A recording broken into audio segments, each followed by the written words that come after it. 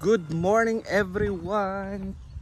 Magunguha tayo ng uulamin nat natin ngayon for today.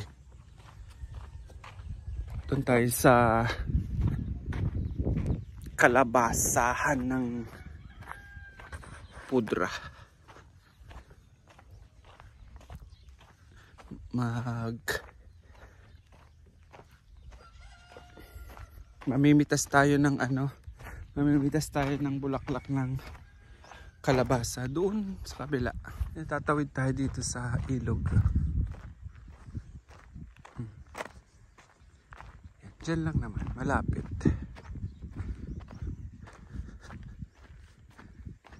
Yan. May ilog dito sa amin. Balita ko meron silang ilalagay na uh, tulay dito dati merong ano dito, merong hanging bridge. Yung poste niyan, yan, yan, cool. Nagkukonekta dito sa kabilang banda. Yan. Kaso nasira nung may malakas na bagyo nung 2018. Kaya hindi na siya ginawa pa ulit. Malakas kasi yung bagyo noon. May fish pond dito. Ang dami isda. Yan o. Oh. Tilapia. May ano din hito. Yan, malalaki. Ay hindi siya masyadong malaki. Yung hito malalaki na. Ito papakain dito na tayo guys. Kaso nakapitas naman na yung si pudra. Meron pa naman natitira. No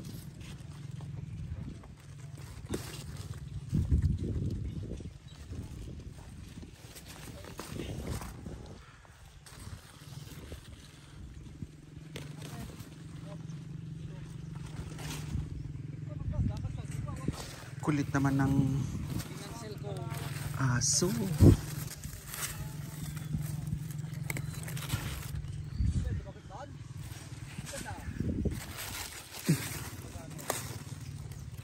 Madaming bulaklak. Nakatago.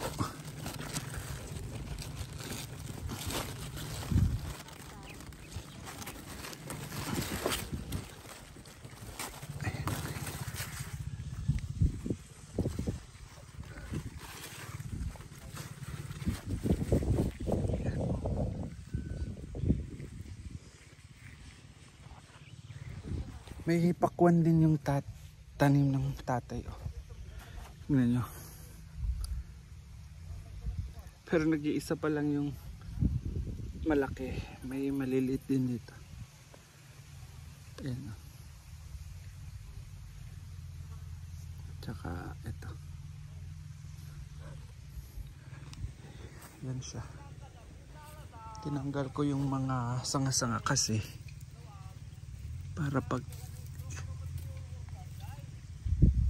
lumaki. Ay maalagaan niya yung bunga niya ng mabuti. Katulad yan may mga maliliit pa.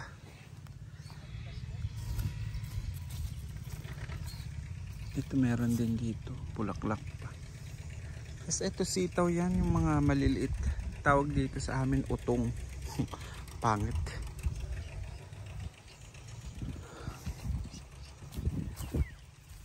Ito, oh, namumulaklak pa siya.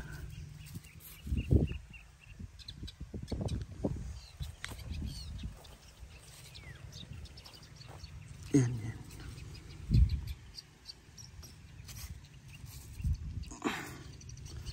Eh, may mga maliliit na siyang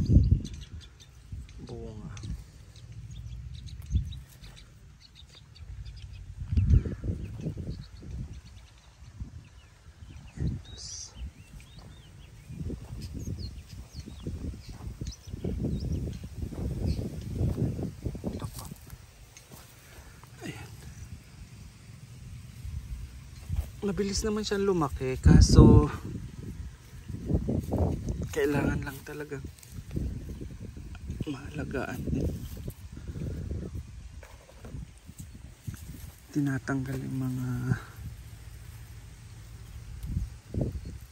ganito para hindi siya aagawan ng mga nutrients ba? Pag may bunga na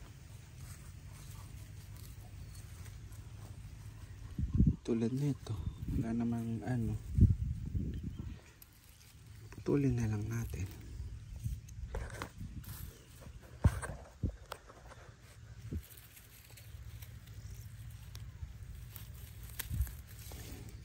Mm. Ayan.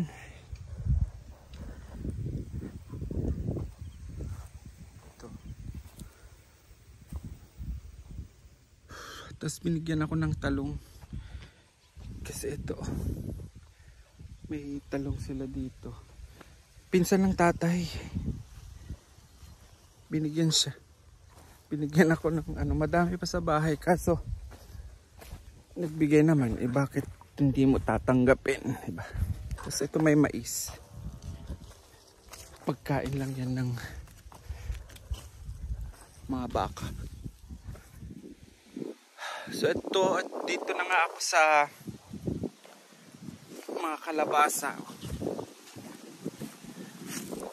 Naunahan ako ng pagpitas. Maaga si Pudra. Punta dito. Kunin na lang natin. May mga bunga na rin oh. Medyo malalaki na siya. Nakatago.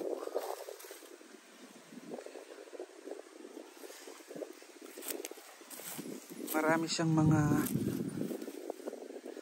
maliliit na bunga. Makati kasi. Tara. Tapos kunin ko yung binigay sa akin na talong. Talong at saka kamatis.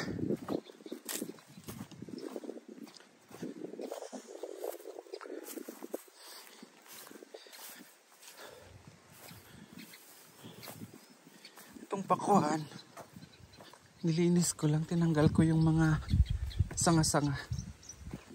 Parang lumaki siya, mapalaki niya yung bunga. Ito yung bulaklak. Talong.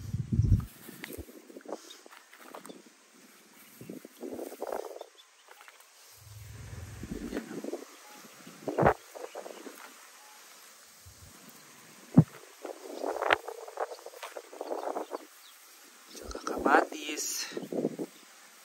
Yan, uwi na tayo. Mainit na. Uwi na tayo. Mainit. Yan oh. Marami na tayong ulam for today.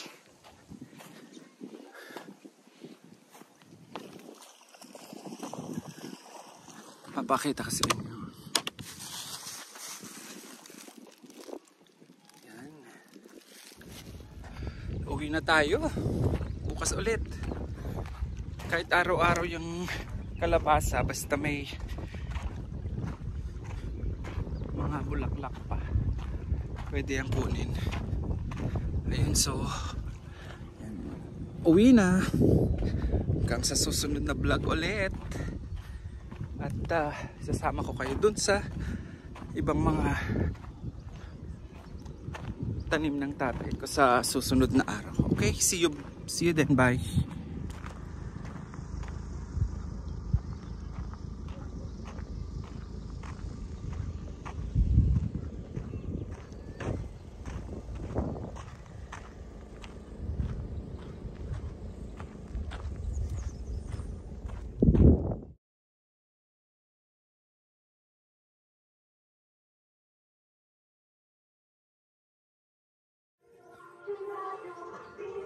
Yan na guys. Oh, isang bilao.